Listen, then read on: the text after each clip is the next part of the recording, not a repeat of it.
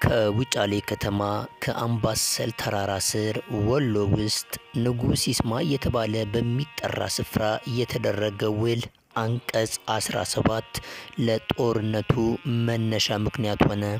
በአፍሪካም ታላቁ ጦርነት ተጀመረ። ጣሊያኖች ጦራቸውን አሰልፈው ወደ ኢትዮጵያ ግዛት ተመው ገቡ። አጼ ምኒልክም የክተት አዋጅ አወጁ። ጉልበት ያለህ በጉልበትህ፣ ጉልበት የሌለህ ለልጅህ፣ ለሚስትህ፣ ለሀገርህና ለሃይማኖትህ ስትል ወስልተህ የቀረህ ግን ኋላ ትጣላኛለህ፣ አልምርህም፣ ማርያምን ለዚህ አማላጅ የለኝም ሲሉ አዋጅ አስነገሩ። የጣሊያን ወታደር ከኤርትራ ከፍተኛ ቦታዎች ቅዳሜ ሌሊት በጀርባው ከባድ ኮረጆውን፣ በጫንቃው ጠመንጃውን፣ በቀኝ ጎኑ የጥይት ከረጢቱን፣ በግራ ጎኑ የውሃ ኮዳውን ተሸክሞ እየገረረ ከባድ ጫማውን እስከ ጉልበቱ አጥልቆ በአቀበትና በቁልቁለት እየተደነቃቀፈ ያ ሁሉ ጣሊያን ከርፈፍ ከርፈፍ እያለ አድዋ ላይ ሊነጋጋ ሲል ደረሰ።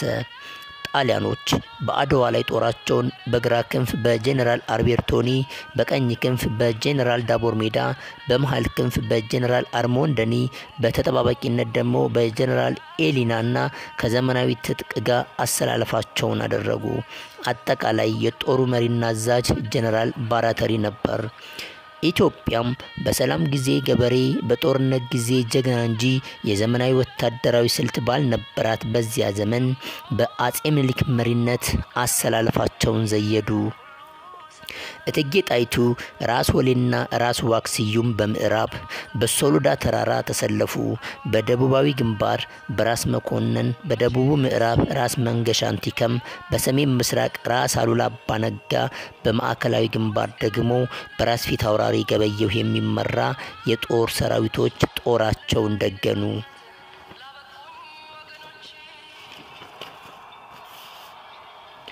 ከማለዳው 12 ሰዓት በጄኔራል አርቤርቶኒ የሚመራው ጦር በፊት አውራሪ ገበየሁ በራስ ሚካኤልና በራስ መንገሻ ጦር ላይ በሰነዘረው ጥቃት ጦርነቱ ተከፈተ። በቀረርቶና በፉከራ የአድዋን ስላሴ ጠላት አረከሰው፣ ገበየሁ በኔ ሞት ግባና ቀድሰው ተባለ። በዚህም ጊዜ የንጉሠ ነገሥቱ የመሀል ጦር አዛዥ ፊት አውራሪ ገበየሁ ጎራዴውን መዞ ከዋናው የትግል አውድማ ተወርውሮ ገባ። ፊት አውራሪ ገበየሁ ተዋግቶና አዋግቶ በጠመንጃ ጥይት ተመቶ ሕይወቱ አለፈ። በእርሱም ምትክ ሌላ የአድዋ ጀግና ባልቻ አባ ነፍሶ ተተካ። ገበየሁ ቢሞት ተተካ ባልቻ መድፍ አገላባጭ ብቻ ለብቻ ብለው ጀግንነቱን መሰከሩለት። የኢትዮጵያ ጦር በወኔና በፉከራ ከመድፍ አፍ ውስጥ የሚወጣ ጥይትን ሳይፈሩ ከሞት ባህር ዘለው በመግባት ነጮችን በጨበጣና በጎራዴ ገደሏቸው። ምድርም ቁና ሆነች። የጣሊያን ወታደሮች በራሳቸው ሬሳ ላይ ይረማመዱ ጀመር። ቀሪዎቹም በድንጋጤ ተውጠው ፈረጠጡ፣ ከፊሉም ተማረከ። እቴጌ ጣይቱ የደከመውን እያበረቱ የቆሰለውን እያስነሱ የሴትነት ባህሪያቸውን ትተው ቀኑን ሙሉ በቆራጥነት ድሉ የኛ ነው በለው አባረው በማለት ያዋጉም ይዋጉም ነበረ። በመጨረሻም ጣሊያኖች ቁጥራቸው በጣም እየቀነሰ መጣ። 56 የጣሊያን መድፎች ሙሉ በሙሉ ተማረኩ። የባራተሪ ሁለት አዛዦች ጄኔራል አርሞንዲናና ጄኔራል ዳቦር ሜዳ በጦርነቱ ሲሞቱ፣ ጄኔራል አርቤርቶኒ ተማረከ። የጦርነቱ ዋና አዛዥ የነበረው ጄኔራል ባራተሪም ከጥቂት ሰራዊቶቹ ጋር አመለጠ። የካቲት 23 ቀን 1886 ዓመተ ምህረት እውነትና ፍትህ ኢትዮጵያና አፍሪካ ከበሩ። በተቃራኒው የጣሊያን ንጉሥ አማኑኤል ኢምበርቶኒ የልደት ቀን የሐዘን ቀን እንዲሆን ተወሰነ።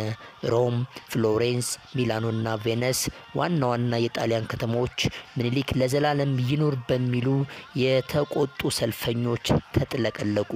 የአድዋ ድል በዚያን ጊዜ የኢትዮጵያ ብሔራዊ የክብር ማህተም፣ የጥቁር ሕዝቦች የነጻነት ቀንዲል፣ የመላው ሕዝብ ሰራዊት ክብር በእውነትና ምልአት ላይ የተሳካ ትልቅ ቅርስ ሆነ።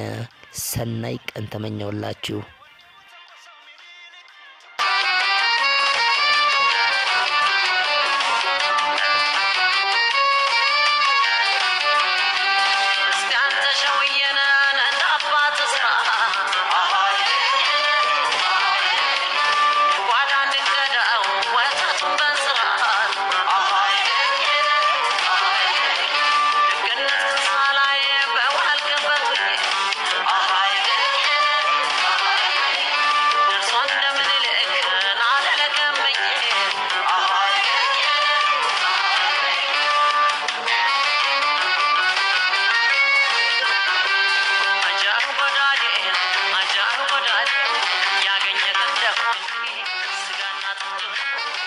Yağmur anne